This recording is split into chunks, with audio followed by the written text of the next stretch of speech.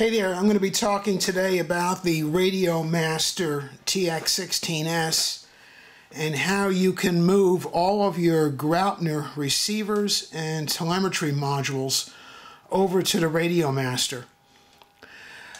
As most probably know, Graupner went out of business in 2020. They closed up shop, thegraupnerusa.com.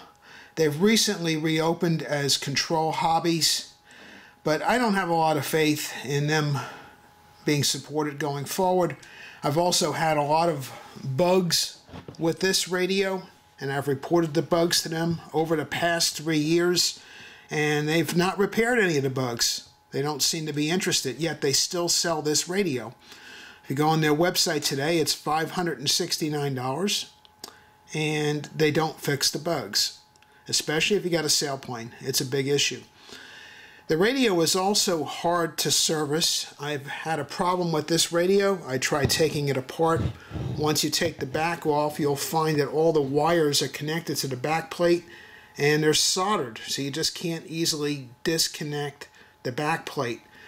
You take this radio apart, no wires are connected to the back plate. You can easily service it. I ended up sending this radio back to Graupner since I couldn't fix the uh, stick myself. It was stuck. They couldn't fix it, so they sent me a brand new radio. And then the amusing part started. Their backup restore function doesn't work correctly. I had backed up all my modules to the memory card here. And when I went to restore them, we found out, again, another sailplane bug. They have problems restoring sailplanes, especially with V-tails. So I had to reprogram the models from scratch because their backup restore didn't work right. I'm fed up with the company, but I have a large investment in their receivers and telemetry modules that I want to use, and they do have a good link. The, the radio link is solid. There's nothing wrong with that. So this guy, I'm not using him anymore. I'm getting him out of the picture. Got this wonderful little radio this radio, when I bought it, was $130. Now they're selling them for about 150 uh, it's going to cost you another $20 or so to get this radio actually working because it does not come with a battery. So you have to put your own battery in it. On average, they're somewhere around $20. And it takes a 2S battery. It uses a standard 2S charging port, a balance port connector. So it's easy. Nothing unique about that. This one comes with a uh, cable so you can put, charge it outside of the transmitter if you wish on your standard field charger. But what's really neat about this radio when you're charging it at home, it has a standard USB-C charging connector on the bottom. So you could take one of your cell phones your cell phone chargers and charge your radio. Because I've got a uh, couple cell phones that use the USB-C connector. So you can just plug it in and charge the radio. And like I have power strips with USB charging ports on them. And so that's actually what I use to charge this radio. There's a power strip here on my bench. I have a cable coming out of it and I can charge the radio. Very, very slick. There's also a micro SD card down here. They include the card. This is where all your memory models are stored, is on that little memory card. This radio is really amazing for the price. You get Hall effect gimbals with this radio for $150. You don't get Hall effect on this guy.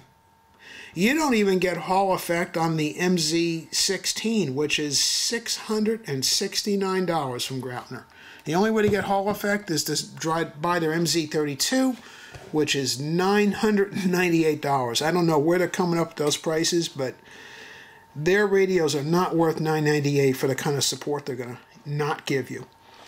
Um, this radio, obviously, most of your support is going to come from uh, RC groups and the forums. There's some excellent discussions on this radio on RC groups, and there's plenty of people to help you. Now, this radio has two different versions of software in here. You have OpenTX, which is a very popular package. It's going to program your airplanes. It's going to do all your endpoints, your dual rates, all that good stuff. The radio also has something called multi-module that's embedded in the radio. It does have an external module port here. Right now, this is this is just a blank plate here, but the multi-module is built into the radio. And with the multi-module, this is what makes this radio so cool. It can do dozens of different brand receivers. Some of the popular ones like Spektrum, it can do all the Spektrum receivers. It can do the Graupner receivers. It can do the Hitec Optima receivers. Uh, it does some of the Futaba receivers, the FASST, it does not do, and it doesn't do Jeti. So those are the only two that I know of that it can't do. But all of the other brands, or most of the other brand receivers, it supports, and they're adding more on a frequent basis. There's a very nice discussion on RC Groups. I'll put it in my uh, description what the link is. And they do a good job supporting any issues you find, and they're very open to adding more protocols to that module. And the module has a, a firmware update capability, and right from OpenTX, you can just download the file, you put it on the micro SD card, and you can flash update the radio. It's very easy. So you don't have to worry about having Windows or Mac. You just download the file with any kind of computer you've got and put it on the card. So on this video, I'm going to walk you through getting your Graupner receivers moved over uh, to this radio. I'm going to show you how the various sensors work, how to bind a receiver, and everything works. You can use the Varios, you can use the Graupner ESCs, you can use their voltage sensors. I don't have a, a GPS, but I'm sure that works since everything else works. It's really cool. OpenTX, turn the radio on, I can show you at least what that looks like. I'm not going to get into the Welcome details OpenTX. of OpenTX because there's plenty of other videos out there to help teach you how to use that. But with OpenTX, the neat thing that I really like is this opening screen is completely your design. It's a free open template where you design what you want. You can put all these things called widgets on the screen and you are in total control of what you want here. It's really cool. And I'm going to go through the settings on some of that so you can see how you can bring your uh, Vario or gyro or anything you want onto the screen. So I'm going to show some of the settings on here and I'll show you how to access the Graupner menu that is embedded in these receivers. So for this uh, video I'm going to sample the 1019 receiver. This is the air version. They make also a multi-rotor version, but this is the air version. And I've tested the GR16L, which is their 8-channel basic receiver. I've done their 12L, which is their 6-channel.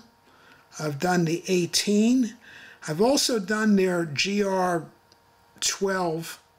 that has an embedded Vario in it and gyros. That also works very well.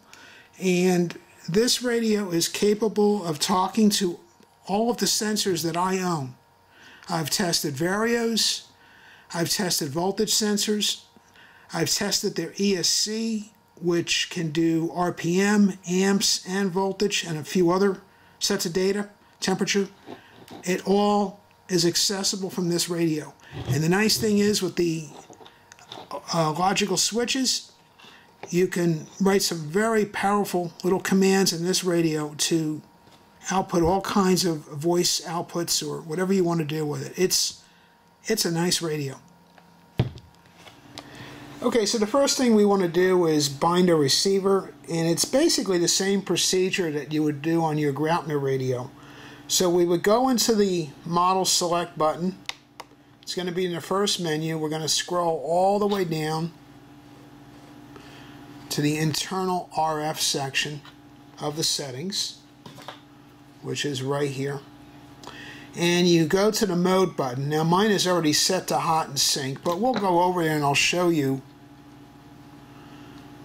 some of the various receivers this thing supports. You just press enter, use the little wheel, and there's a ton of stuff in here. This thing supports a lot of different receivers. So anyway, we're going to go back to HoTT.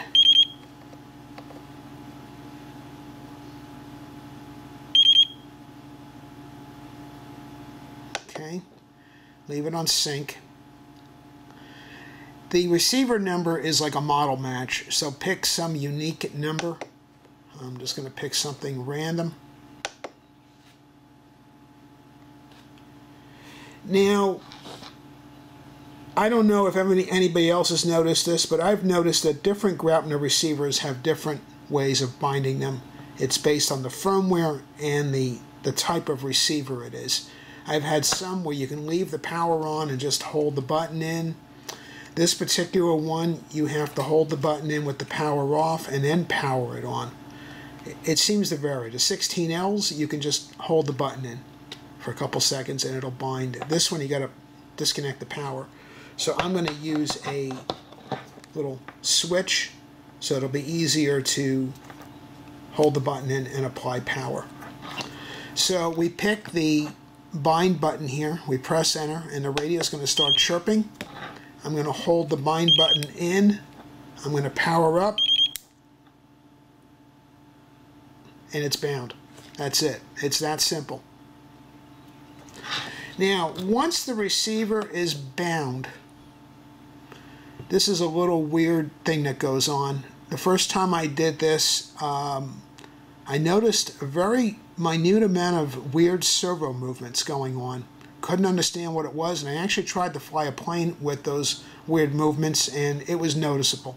Didn't crash the plane, but it was weird. Went out on RC groups, and Pascal, who's the guy who does the multi protocol for this radio, uh, very quickly told me that I didn't read the manual, and he was right. I didn't read it. On the Graupner, you have to slide down here to the failsafe mode.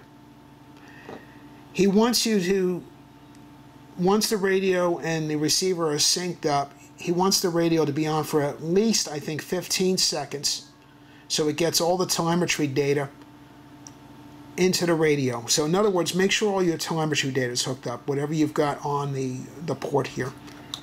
Once that's all in, you've left the radio on for a good 15 seconds, you come over here, you press enter, and you set this to receiver. Once you do that, it works perfectly. The little weird servo movements that you see all go away. Everything is perfect. So just do this after you bind the receiver and everything's good. After binding your receiver, they recommend fine tuning it, and that's called the RF frequency fine tune. This is their printout from their website on how to do it. You can hit the pause key on your video to read this. Here's the equation with the sample. in every case, when I tried adjusting this zero to negative and positive numbers, I lost the signal instantly. So in no case did the fine tuning make the signal better. And with the factory default of zero, I'm getting phenomenal range. I'm not having any problems with range. And I fly a lot of sailplanes, and I've got sailplanes programmed into this. It's working fine. I've got a regular let's see, I have three regular airplanes plugged into this. I've got lots of flights on them, no signal issues. So you can try that if you want and see if you get different results than I do, but in my case, zero always turns out to be the best number. So once we've bound our receiver, the next step is to discover all the sensors. So at this point, you want to get your sensors plugged into your telemetry port. I'm using a Y adapter and I have a Graupner Vario hooked up to the Y adapter and I have one of their four cell voltage sensors hooked up where you plug the battery into the balance port and this will read up the four cells. So we go to the telemetry menu, which is the back page button over here. We scroll down. You might have some sensors in here because I've already used this receiver, so we're going to delete them all. Now what you want to do is discover new sensors. You press enter. I recommend waiting about 10 seconds so it can find everything that's out there. Once you've waited 10 seconds, you would press stop discovery. And now you've got all of these cool data elements that you can use logical switches on or displays or voice announcements announcements to announce the, the, the voltage of the battery, the RSSI, um, the altimeter, the V-speed. Now, here's an interesting bug. There is a bug in here. I've spoken to Pascal uh, from the multi-protocol group about it. He's not able to fix it, but there's a very simple solution to get around this. Let's go to the top of the various telemetry data. And we have V-speed and alt here on lines 13 and 14. Let's go down a little bit further. And once again, we have Alt and V-speed again. Now, if you notice, this V-speed is fluctuating. This one is not fluctuating. So these numbers here are the real altimeter and the real V-speed. These here are just showing up for some strange reason. He didn't want to get into the explanation, but the simple solution is hold down the scroll wheel and pick delete. And just delete any sensor you don't want. So that's an easy way to get rid of stuff that you're not even interested in seeing. You can delete all this stuff. Okay? So once you have them deleted, you're good. Then you want to come down to variometer that's the tones for climbing and sinking. You set your source to V speed. Do not set it to Alt. There we go. We set the V speed, so we're good now. Once you have the telemetry done, you're ready to start programming the radio. But now I want to show you the cool part on how they wrote a Lua script to access the receiver uh, telemetry. So let's hit the return key to get out of here. Now we have a system menu on the left side of the transmitter. We hit SYS and this is a bunch of uh, scripts. So down the bottom here is something called Graupner HoTT. If we select that, telemetry lost. Anybody that's familiar with Graupner will be very comfortable with that screen. That's the internals of this particular receiver. It's showing you all the settings that are available. So like for example, Graupner uses something called a period function. That's how you set up your analog or digital servos. Now, on the MZ24, you have to use the plus and minus keys on the touchscreen to move this little cursor around. You can see that little greater than sign over here. Well, it's actually easier to use on the Radio Master. You can use the wheel, the scroll wheel, to move the cursor around. So let's say we want to change the period. Maybe we've got digital servos. So I've got the greater than sign on period. I would press enter. It highlights the field in red. Use the scroll wheel, change the number to 10, press enter. That's it. I've now got the radio or receiver set up for digital servos. Now, the one thing you've got to note, because the screen is considerably larger on the Radio Master, this screen is exactly how it shows on Graupner, so you have to scroll down to see additional fields because you would normally not see the field on the Graupner. So even though there's more screen space here, it won't show you the additional field. So scroll down to see the rest of the data. So in this particular case, this receiver on channel 9, you decide what you want. If you notice it has a T slash 9 on it, you can either make this channel the ninth channel for a servo, or you can make it T for telemetry.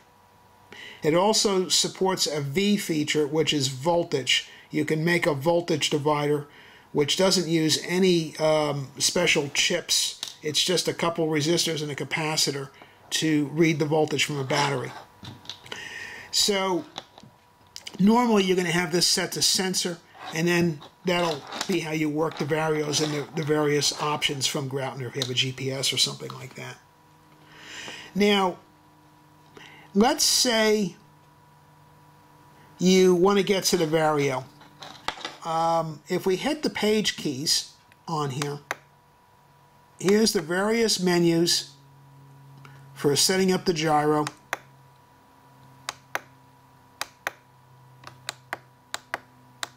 Okay, but no vario. What you would do is, if you notice this on top, it says menu cycle sensors. Well, menu, what they're referring to is the MDL key, not so just know that menu means MDL. If you press MDL, now it says RX plus Vario. So now we can use the page buttons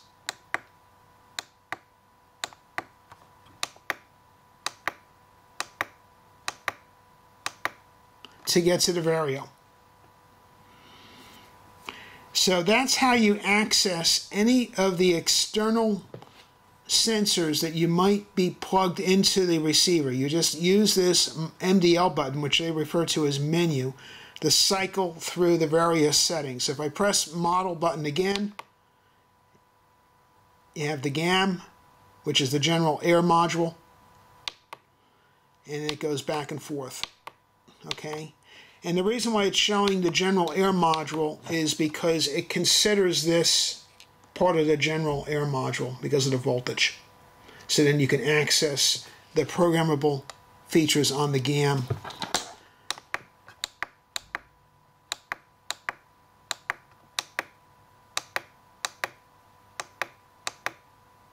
And that's right here.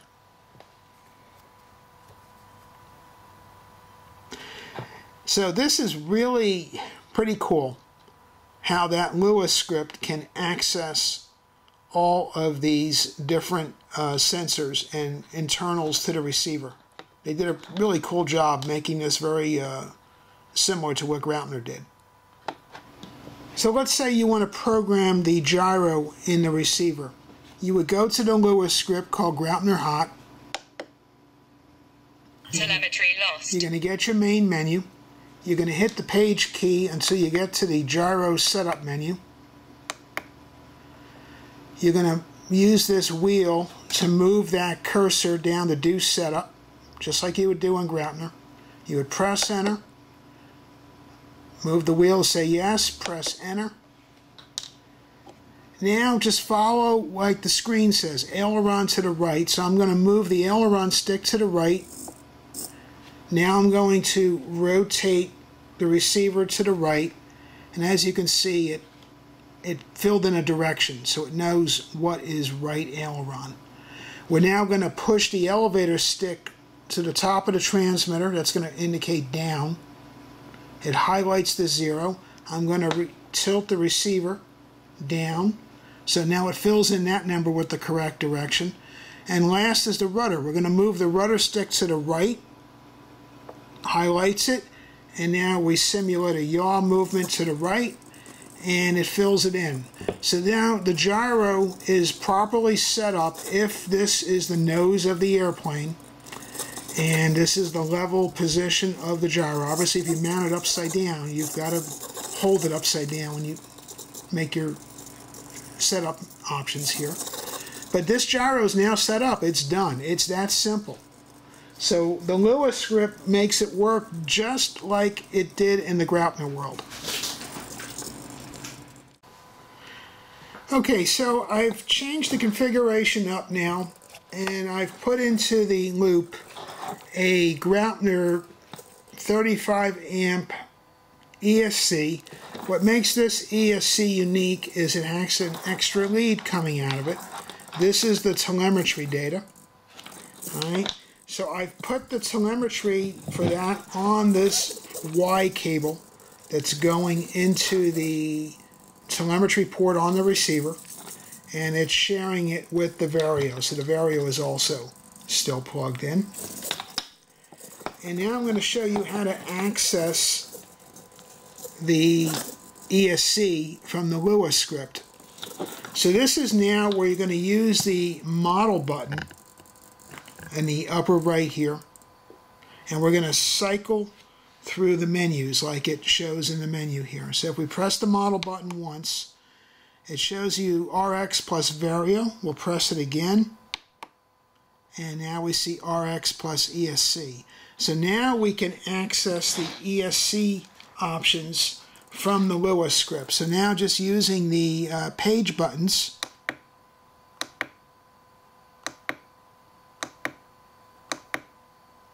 there you go. Now we've got the ESC options. So again, just like on Graupner, you can get to all of these sensor datas with this Lua script. You just have to remember that when you add something like this, you're going to use the model button, even though it says menu here. That's going to cycle through so you can get to your other sensors. And then you can either look at the, the data, change the data, whatever you have to do for the ESC okay? And you have your save options here factory reset whatever you want.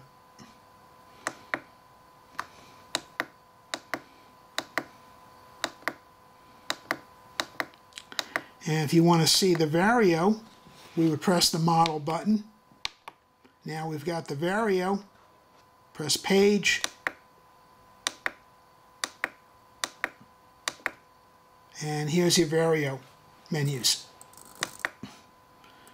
and you can uh, set the options up here. There's different pages for the Vario. So if we press enter, you go to page two, page one. There's not a lot to do here, but there are things you can change. And then hit the return key to get, to get out. Okay, one thing I wanted to point out is when you use this uh, four cell, up to four cell voltage sensor from Graupner. When you go into the telemetry menu, it's going to show up as A2. This is a typical OpenTX nomenclature. So this is a four cell battery, it's not fully charged, so it's reporting 15.2 volts. So A2 is the line to use. Now, here's the interesting thing about OpenTX. You may say, I don't like A2, that's kind of like a name that just doesn't mean anything to me. You can go over here, press enter, hold it down, and if you want, you can change the name. So we can call it um, Volt.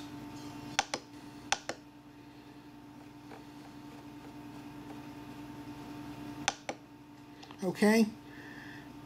Now, whenever you are ready to do a logical switch, you would refer to this as the volt.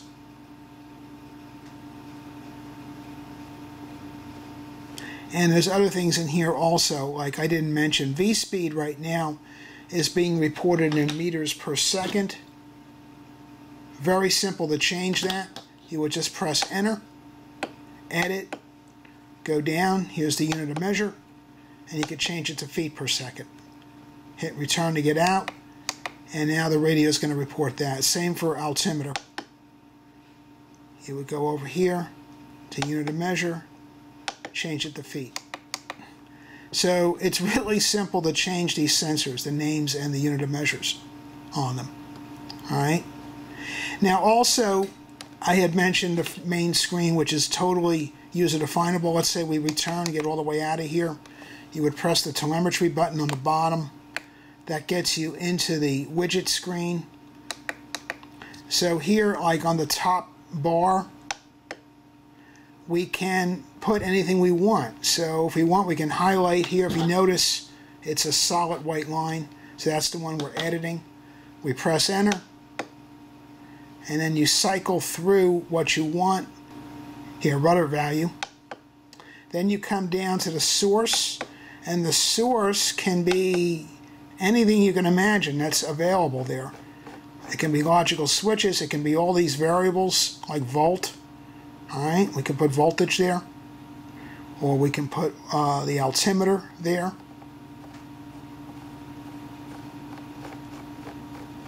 Lots of things to thumb through. So here's all escape out. And now we've got the altimeter on the uh, screen. Now if you noticed it's set up for RX battery, that's the BEC voltage that we're getting. So that's on the servo bus line.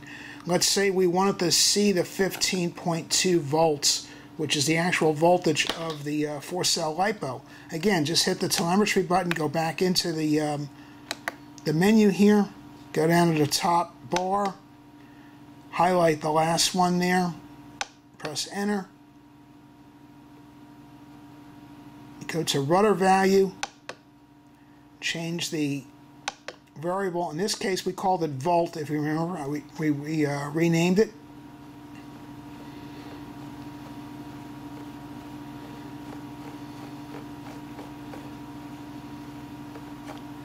There it was. I went by it.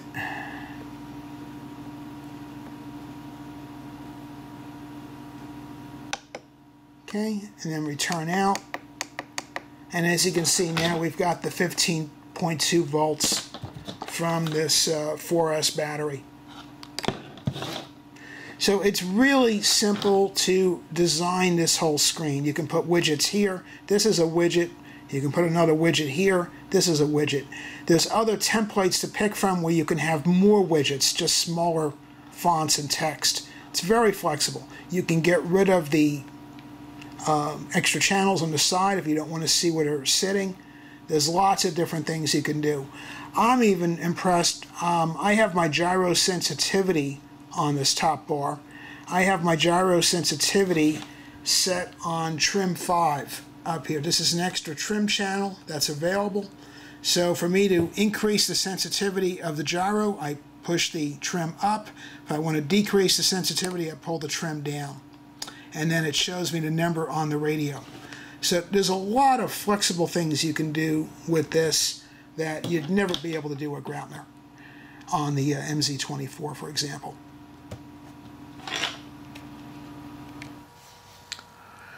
Okay, so to sum things up, I really like this radio. I'm happy with the fact that I can take all these Graupner receivers and sensors and use them again. I've had zero issues, no crashes, no funny stuff considering the cost of this radio, this is a phenomenal deal. And it's not just for Graupner. You can fly a, a bunch of different brand receivers on this radio. It's comfortable in the hands. It doesn't have a lot of negatives that I can think of. I don't care about the overall look of the radio. That's not what I'm flying is what the look is. I'm flying the radio for can it fly an airplane well? And this flies it just fine. The Hall effect gimbals work great.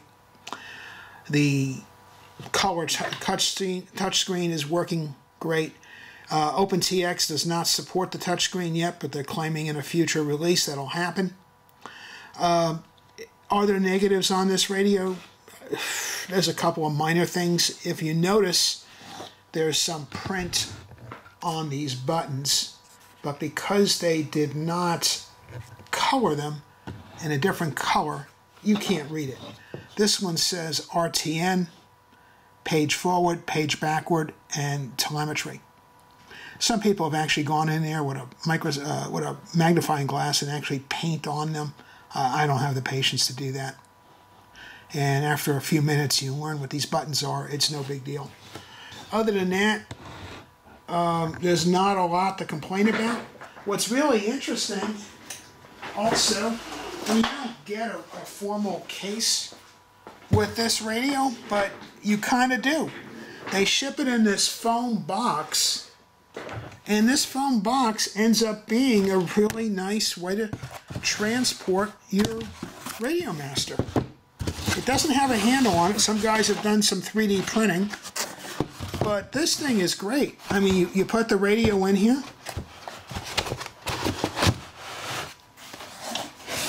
All right, and you close it up and it's not going to get damaged in there. It's solid. So this is what I've been using to transport it to keep the cost down. As I said, some people have 3D printed something for here. They've had some clever ideas. Some people have put a strap around it with Velcro to make a handle. I'm just grabbing it in my hand and I throw it in the car. The radio is very safe in here. It's not going to get damaged. So for most people, I don't think you're going to need to buy a case. This thing will do just fine. I think this radio is worth trying out. And if you have other brands of receivers, this is a good backup radio if you've got another radio that you like. It's a good, you know, second solution. The other interesting thing that I like to point out is because it's OpenTX, you've got more vendors now making radios that use OpenTX. And I think that is going to expand, where eventually you're going to have a lot of different brands using the OpenTX software. So you no longer have to learn different software when you switch radio brands. If it runs OpenTX, you can go from brand A to brand B, and the software is the same. So that to me is a, a key advantage.